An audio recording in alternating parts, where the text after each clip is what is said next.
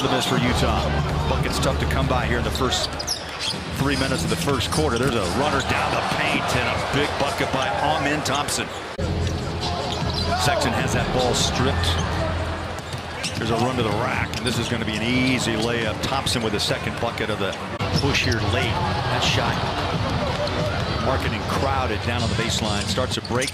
Rockets, they'll lob it up top and the put down by Thompson. That's the kind of action the Jazz like, that early action. If you can find a wide open look like Keyonte did, you got to tape it. Looks like the door's open on this end too. The wind took that one. So highly coveted. There's a Steven Adams rebound. Rockets rebuild a lead back to 10, trying to add to it. They do.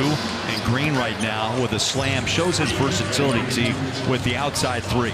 And not let the ball be stripped out of his hands. He kept it up high, down low, bucket short. Nice drive by Thompson.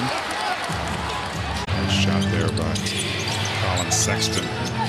ISO situation. There's a foul with a five tenths of a second on this end of the court.